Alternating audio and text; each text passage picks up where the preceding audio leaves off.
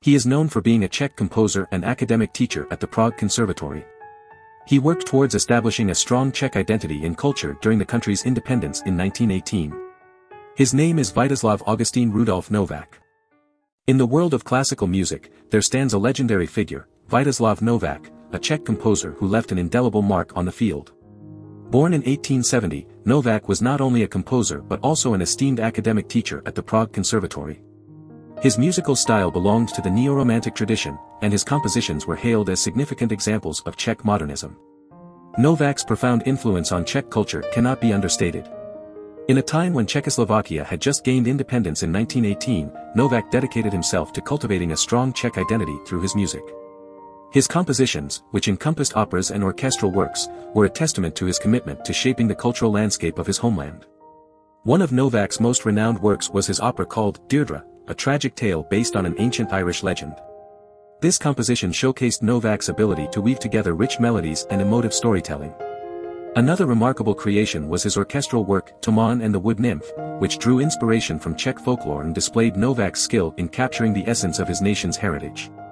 Vítězslav Novák's artistic contributions went beyond his musical compositions. As an academic teacher at the Prague Conservatory, he mentored and nurtured young talents, passing on his knowledge and passion for music to the next generation. Novák's dedication and love for his craft made a lasting impact on the field of classical music, leaving a legacy that continues to inspire musicians and music lovers alike to this day.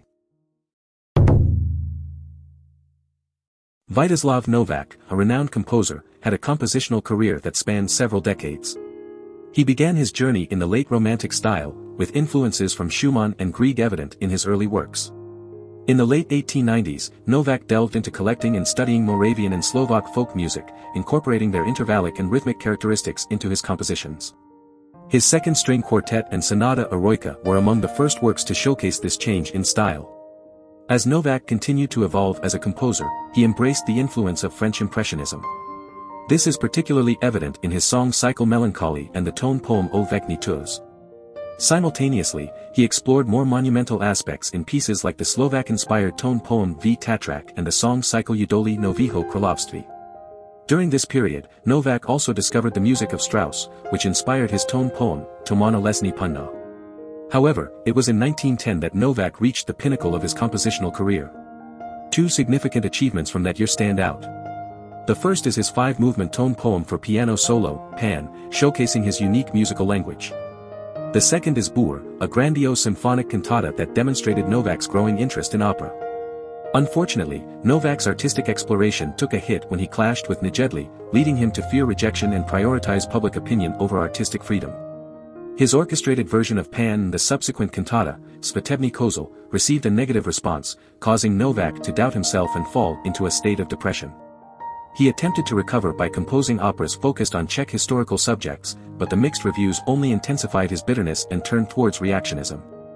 In later years, Novák regained some respect from his colleagues with two ballet pantomimes, Signorina Gioventu and Nikotina. The layering of orchestral effects in these works impressed younger composers and partially restored Novák's reputation.